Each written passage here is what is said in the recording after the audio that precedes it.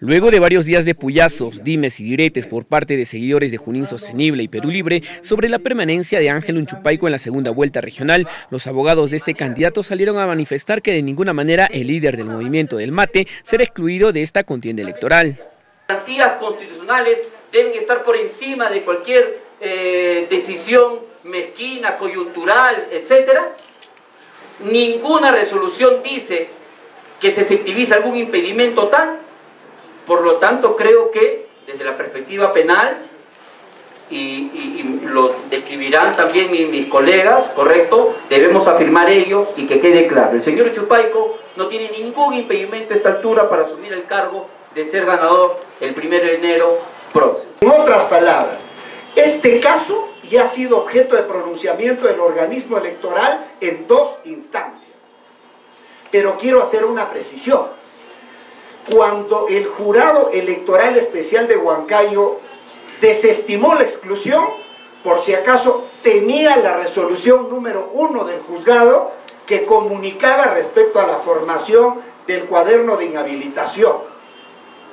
La resolución número 3 que ahora se muestra no es la primera que se ha dirigido al jurado electoral, es una reiteración.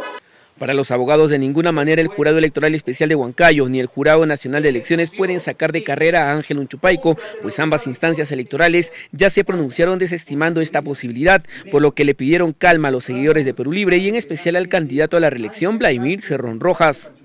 Respecto a la acción legal, ya el Jurado Electoral Especial se ha pronunciado que no procede la exclusión de la contienda electoral del señor Ángel Unchupaico el Jurado Nacional de Elecciones ha confirmado esa resolución.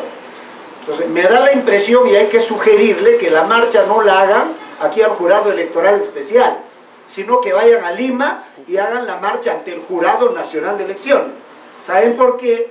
Porque en última y definitiva instancia es el Jurado Nacional de Elecciones el que ha confirmado un pronunciamiento del Jurado Electoral Especial de Huancayo. En otro momento se deslizó la posibilidad de que el delito por el cual fue sentenciado Ángel Unchupaico y el mismo que ahora se encuentra apelado en la Corte Suprema podría prescribir en febrero del 2015, por lo que el argumento por el cual se le cuestiona a Unchupaico Canchumani podría quedar sin sanción alguna.